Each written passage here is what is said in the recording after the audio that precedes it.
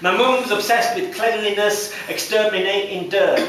If you're eating bread and biscuits, she's always on alert. But if crumbs fall on the carpet without a millisecond's pause, my dog's there to assist her with his litter picking jaws. If you're eating crisps and drop one, he's on it with one bound. My dog saber-toothed, what a hoover of a hound. He's like a street cleaner collecting litter with a stick, but instead of spiking chicken wrap, he slurps it with one lick. He'll nibble every napkin, stick his snout in every tin. My dog's so conscientious, he'll even clean the bin. He smashed the competition for the cleanest dog in town. My dog Saber-Tooth, what a hoover of a hound.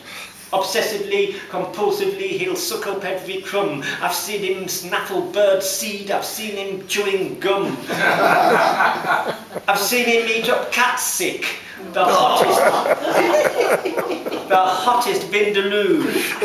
Once he wolfed a bar of soap and did not even chew. He loves to keep his belly full with his sniffer to the ground. My dog Saber-Tooth, what a hoover of a hound. But such a neat and tidy dog's less hygienic than you'd think, cause when grub's too tough to stomach, it make a deadly stink.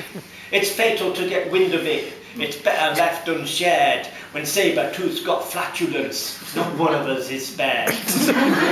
it's not for what he hoovers up that Saber-Tooth's renowned, but what he blows out of his bottom.